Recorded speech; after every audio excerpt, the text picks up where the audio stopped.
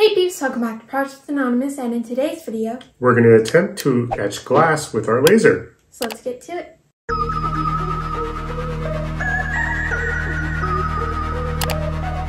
So we've never etched glass before, so this is kind of going to be an experiment. Yeah, so we're going to use a glass plate and we're going to use our Monport 40 watt CO2 laser to attempt to etch it to see what kind of results we can Yeah. get with etching glass.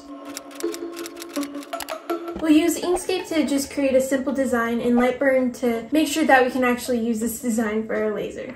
Once we're in Inkscape, we can use our Bezier tool to create lines for our spider web design. Now we can use our nodes tool to correct the shape. We're going to use our Bezier tool again to create the spiral of the web. And we want to get rid of the fill of the shape by pressing X. And also shaping it with the nodes tool. And I can copy and paste this to make a repetitive pattern. Then I can resize it and I want to use the fill and stroke stroke style tab to change the width of it to match. Then I can repeat this process.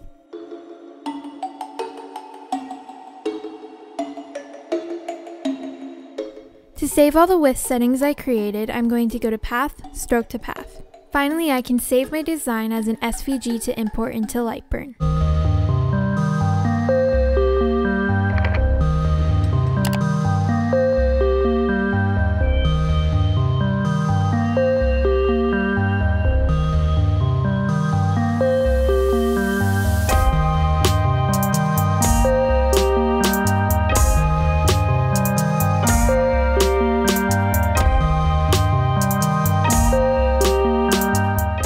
We're going to engrave the bottom side so that we can still use this as a plate.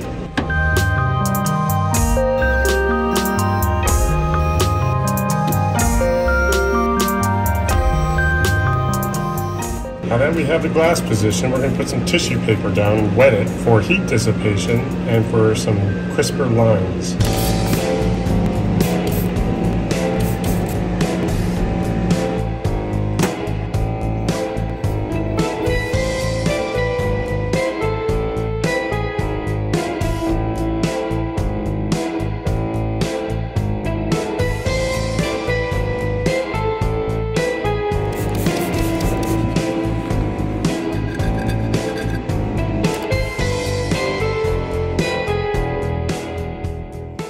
Some interesting results and I think we can definitely improve upon what we've done. So do you have any lessons learned?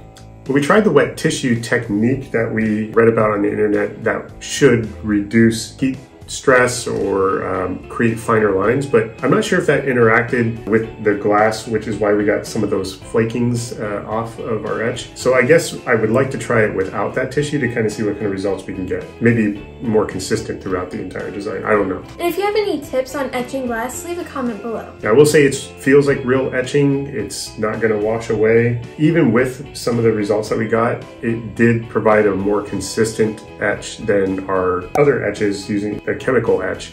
We had some issues in the past on that, not like etching completely. So this was a, a lot cleaner, but we got some things to work through. Anyways, thanks so much for watching. I hope you enjoyed this video. Please like if you liked it. Like it, Subscribe if you enjoy our content. subscribe, And turn on those notifications to get reminded every single time we post a video. Stay crafty. and be happy. Bye!